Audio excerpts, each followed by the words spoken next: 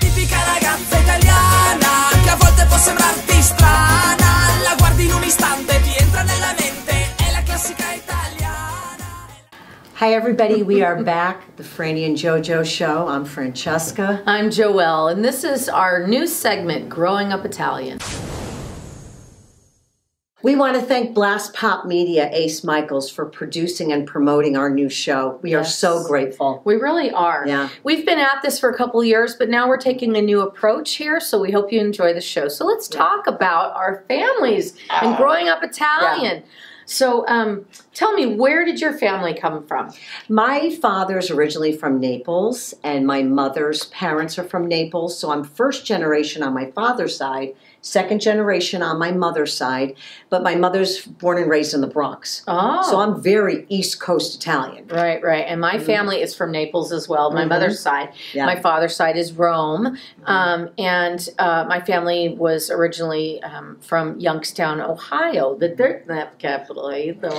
anyway, and so, yeah, so um, both of us have these incredible stories about our families and, and the things that happened to them. My family came over on the boat. Mhm. Your family came over on the boat. My, yep, exactly. My father came over on the boat, and my mother's parents came over on the boat, Ellis Island. Oh yeah, me Mhm. too. Same thing. Yeah. And then for some reason, my family moved away from New York and ended up in Ohio. Mhm. And um, I uh, I got this book from one of my cousins. Sort of looked back into our history, and I found out that one of my great grandmothers was involved in a flood, and um, survived this flood, and actually had to swim to the shore with her children to get to the other side Wow. and she was pregnant with one of the babies.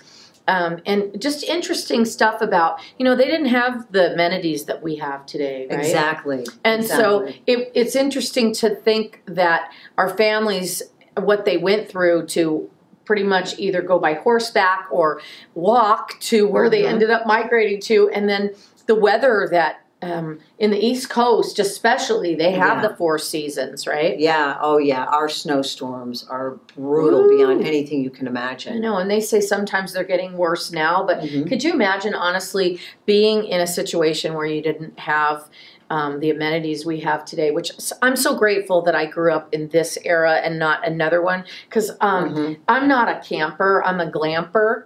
And so I'm a camper. Everybody knows that. I'm a I'm a hiker, a camper. I'm Hello. not. Bohemian gypsy, whatever you want to call me. And I have my- for And I dinner. have my, and we have our spoons. We do. We have our spoons, which we're grateful to Ann Pettit. Oh, Is Ann- it Ann Pettit? Ann Pettit, yep. Yep, and she made You like to call us. her Ann Petite. Yeah, because she's she- small. and she is very. We love you, Thank you, Ann. Ann. Yeah, way. we love our we love our um, wooden spoons, which my mother used to beat my ass with this. I. I got hit with a frozen sausage, and then after my mother actually put the same frozen sausage she hit me in the head with to heal the wound. Hello, how sick is that? But I guess it's normal. Isn't it funny how if you have like a sty in your eye, my grandmother would say, Yeah. "Let me get the gold ring, get Yeah. the gold ring, and rub the eye, rub the eye." You Oh, know, it's all so these true. old Italian traditions. I So- do have some trivia questions. Oh, good. We love I those. love the trivia questions. Okay. What year was the Vespa scooter invented in Italy? Was it? Wait, wait. The Vespa scooter. I've been on one of those. I rode Yeah. one of those when I was in Italy. Those She did. pretty cool. Mhm, Yeah, I heard okay, the story. So cool. Didn't you crash? No, Oh, I didn't. You almost We crashed. crashed the four the we crashed the bike with the four wheels. Go on to the Okay. story. Okay. So was it 1950, 1937, or 1946? Well, I'm going to go with 37 because it's it's pretty old. Am I right? Ding, ding, ding. You're wrong. I'm wrong. 1946 it was Shut invented. up. All right. Very Okay. cool. One more Wow, trivia question. Hmm. Very nice. What is Italy's national flower?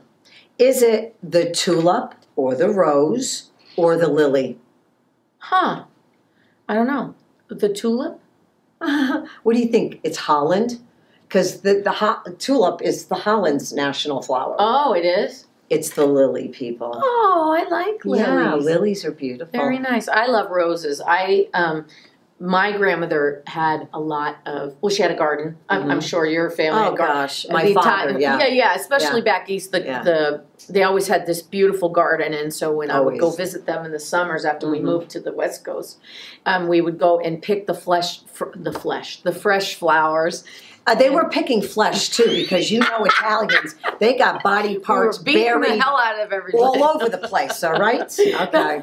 Mhm. But she would pick fresh flowers um, and put them on the tables, and and um, uh, that was always incredible to me to watch my grandparents as they aged go Mhm. out to the garden and pick the tomatoes and oh pick yeah, the basil and then can the tomatoes. oh god and please. prepare them for for the oncoming winter because Oh, you can't grow tomatoes on the east coast in the winter it's it's it's impossible Oh, I know. you know? My grandparents had a, a cellar, and Mhm. in the cellar Yep. there was rows and rows and rows of canned things. yes right. mhm, and meat hanging And meat. all right And Dead wait, carcasses. Wait, and, and my grandmother made something called bubacha cruche, which was those peppers, and they'd hang them and dry them, and then Mhm. you'd fry them in the olive oil and the garlic, and put a little bit of crushed red peppers. Oh. and when you chewed on them, they tasted like potato chips, only Italian potato chips. and then right? they would clean out your sinuses very well okay yes. okay so if you Yeah. had a cold or the flu all Oh, right please. you were all set Oh yeah. all right And the Vicks on the Yeah, chest, and you were good to go. Yeah. exactly yeah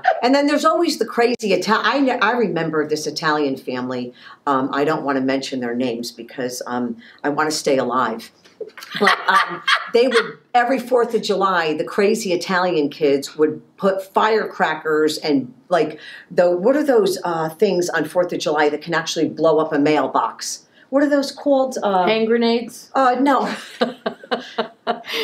well, we are. The FBI is going to start questioning us.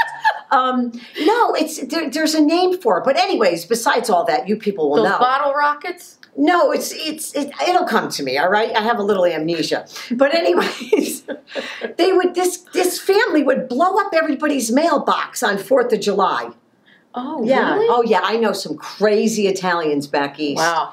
And I'm not going to mention the names to protect the innocent and the not so innocent. Oh gosh. Yeah. My family, I love this story. So my uh, my mother talks a lot about a community that she lived in called Briar Hill, and all the Italians lived in this this little street in Briar Hill, and a lot of the houses were three and four stories, and the families all lived together. So Oh, let's yeah. you know, so the gra- so I remember I have a vague memory of going to my great grandfather's house and he was on the top floor in a wheelchair and he would he was always hunched over you know when we would go in and and um so anyway the the the story was that the neighbors next door were mafia and every sunday the the grandmother would cook the meal and so you'd see all these beautiful cars come the the cadillacs and the and all the the Mhm. black cadillacs and these white pearl white cars and the, everything was always you know the cars were always in beautiful shape even if it was snowing yeah. but the cars would all line up every Sunday,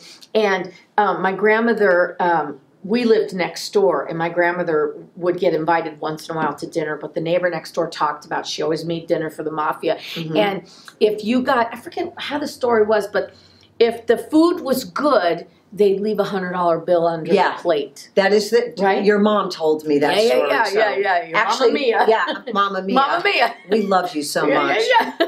On uh, one of our shows, she explained the story, and it was it was in, interesting. yeah. Yeah. They would leave the hundred dollar bill underneath the plate. Mhm. And if the food was good, then the cook, obviously, who was the grandmother, would would get the hundred. Mm-hmm. And then if the food was bad, they would end up, you know, um, in a Nice. bologna sandwich. bologna sandwich, Yeah. they get their mailbox blown up. oh yeah.